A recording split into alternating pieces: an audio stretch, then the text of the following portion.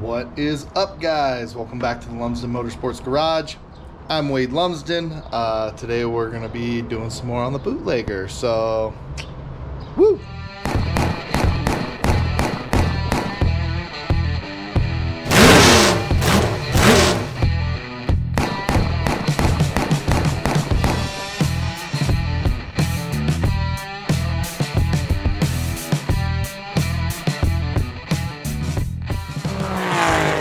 So, uh, first things first, as you can see, the motorhome's gone. So, woot woot. Uh, still haven't figured out what I'm doing with it, but I got it towed out to my dad's house. Uh, truck is running, and the trailer's here. Modified is still inside the trailer, so that's awesome. But uh, I went off and, and did some other stuff here. Um, I got went ahead and got the the battery installed. It's bolt the battery box is bolted down on the inside. Um, I also installed an eyelet on each side so I can throw a strap over the top, have it tied down, and it's all wired up. Um, I got to tie up my wires still, but uh, we got our got our switch. I just drew my on and off here, but um, show you what we were looking for with the wiring. So she runs. Um, but then when you come over to here, the way you gotta wire it um, is you gotta run a wire. That's what this this little red wire in the background is. You gotta run a wire from the alternator to the battery side of the switch. So that way when you turn it off, it kills the whole thing. Um, if you leave it, leave the alternator hooked up to the other side of the switch, uh, when you go to kill that safety switch there, it'll stay running. So got to make sure you do that right. Um, we got some other stuff to do so fun story. Super fun story here. Uh, got the old man to come and try to get into the car the other day. Um, and it's probably a good thing I didn't get that on camera. It made me laugh a little too hard. Um, but uh, he's a big guy a really big guy.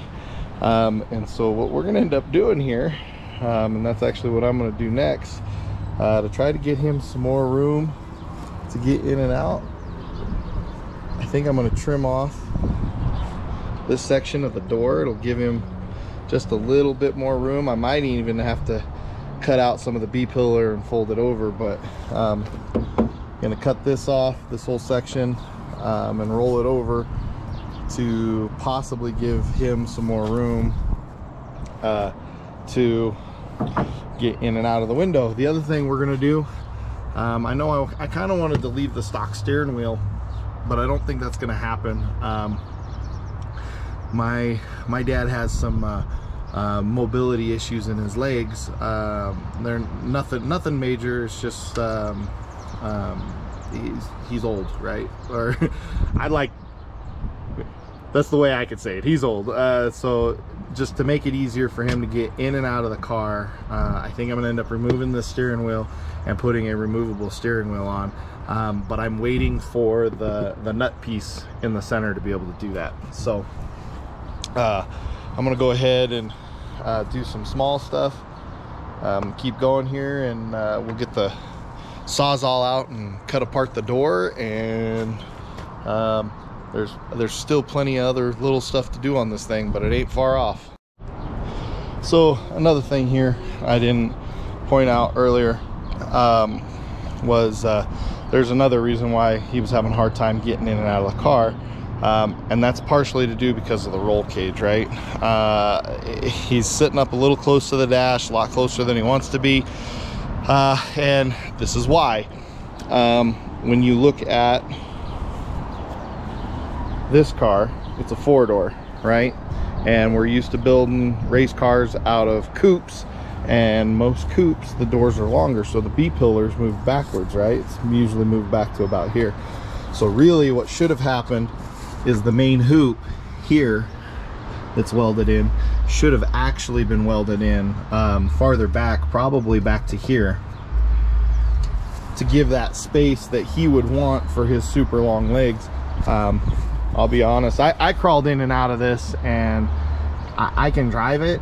It's a little tight, but I could drive it. It's This is really caged for a smaller person.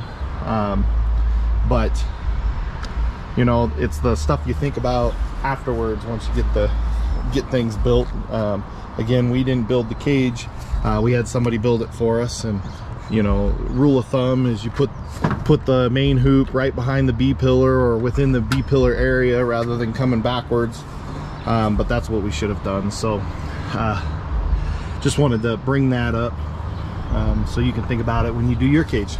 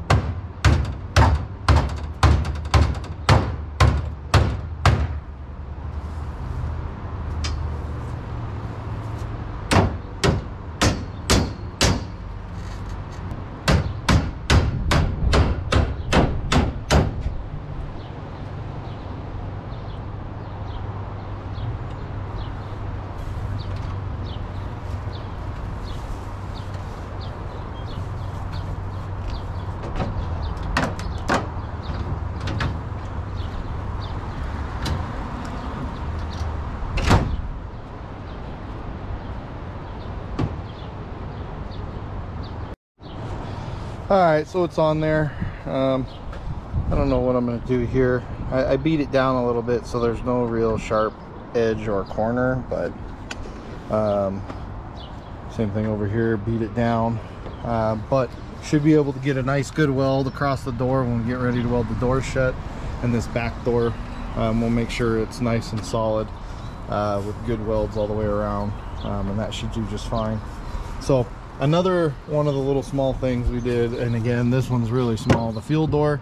Uh, one of the first episodes uh, for the bootlegger build we had to get into the trunk uh, to be able to open this to be able to get gas in it to move it. Um, I went ahead and there's just a little screw with a little plastic deal here that clips on to here.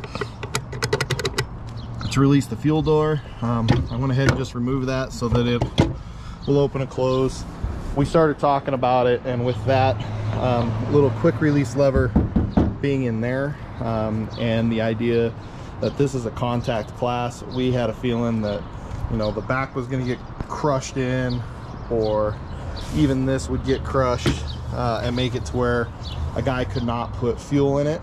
Um, so instead of dealing with the possibility of not being able to put fuel in it granted if you start with it full it's probably going to get really good gas mileage.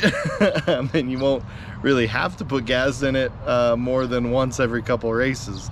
Uh, but just so we don't have to deal with it I went ahead and removed that piece and then if this fuel door gets uh, messed up too much um, we'll just take it off later. So it's one of the great things about this class. So we talked about moving the battery and the alternator and stuff and so what I did is I just made a new wire uh, hooked it up to the alternator. This one is the old wire right here. Um, since it's in the harness, I'm just kind of leaving it um, to do what it wants to do. But it ran over here. This was the other end and it came to the other side of our power distribution box over here, right here. So um, make sure you undo that end. If you're gonna leave the wiring in there, make sure you undo this end as well because um, this is hooked up to battery.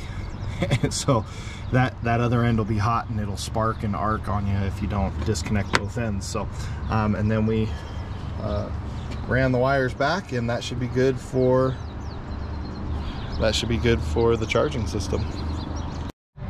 So the other thing I did for this battery box was for the ground.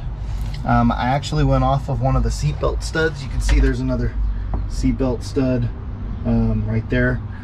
And so I went off of the seatbelt stud, uh, made it to where I had to drill a bigger hole um, through my battery cable end here, but it worked out. And then as you can see, it's kind of ground around the outside. I took a wire brush and got rid of as much paint as I could just to make sure that there was good metal contact there. Um, and with the weird divot below it, I put a washer on top of that so it kind of uh, make good contact and with all the metal below it and then uh, double nutted my my ground wire on here. Uh, this is the only metric nuts I had, so that's that's what we got. All right, so um, finally got my broken shocks out of the trailer. You can see that one's bent pretty good and the ends broke off. And this one, the well, yeah, it completely gone. It's down in there somewhere, I think, but it's got a huge bend in the side of it. Um, so at least I got my shocks dug out. I have a couple other um, broken shocks laying around down here um, that I'm gonna box up and get sent over to Steve at TSM. Um, he always does a really good, really, really good job on shocks. I just do a really bad job of taking care of them. Uh, so make sure you start taking care of your shocks. I've always been really bad about it in the past. I'm trying to get better about it. Hence my shock protectors and um, bringing them inside during winter time and all of that happy stuff. Keeping a, a, record of how many nights you got on them and checking them after every race. And I wish I had a makeshift shock dyno or a, a dyno force machine, you know, so I could check all these and when they start getting worn out, send them off to get rebuilt.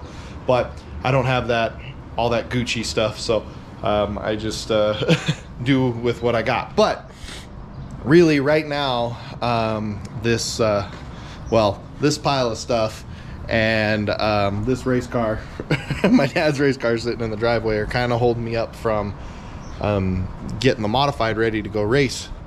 But I know that I'm also going to be waiting on shocks. So um, I'm kind of out of left rear shocks, or at least the left rear shocks that I would want to race uh, tracks around here.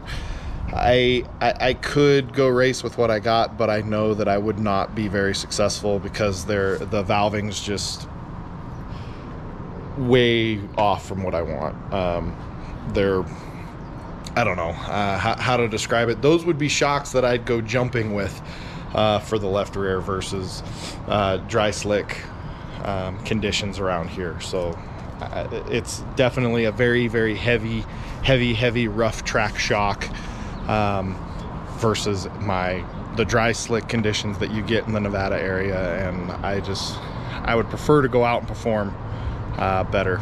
But you know, is what it is. So I'm gonna get my my shock sent off. He's got a really quick turnaround time. Go check his stuff out, uh, TSM shocks. So um, he usually has a really quick turnaround time, really good service, um, and he'll chat at you about about your shocks and, and your program and um, and all that stuff. Remember, stay in your own notebook uh, when it comes to shocks and and springs and and loads and all that stuff um, you want to stay in your own notebook and chat with him in your own notebook. I can tell you everything that I do, but it's probably not going to help you because that's my notebook. Um, so, yep, gonna get these sent off. Um, I'm gonna continue to play with the bootlegger for my dad for a little while. Uh, I think he's chomping at the bit to get a hold of it because uh, I guess he's gonna do the paint job and all that happy stuff. So it's probably gonna leave if I had to guess, it's probably going to leave next week, um, whether I'm done doing stuff to it or not, uh, since everything that's left is is small stuff. So um, that's going to be it for this video, guys. I'm doing my best to get them out for you. Uh, I uh, again, still fairly new to this scheduling and, and, and figuring things out. So, um, I get at you when I can get at you as much as I can, and um, make sure you like and subscribe down below if you like what we're doing here. We got plenty of other cool, fun projects and stuff coming up, um, along with just you know the regular race season. And um, I started Twitch streaming what I do here in the garage too. So um, if you want to hang out with me on Twitch, uh, there's a link down below. Check that out. Um, I get on when I can there too. Um, and, and and cool. So we'll see you guys next time. Thanks for watching.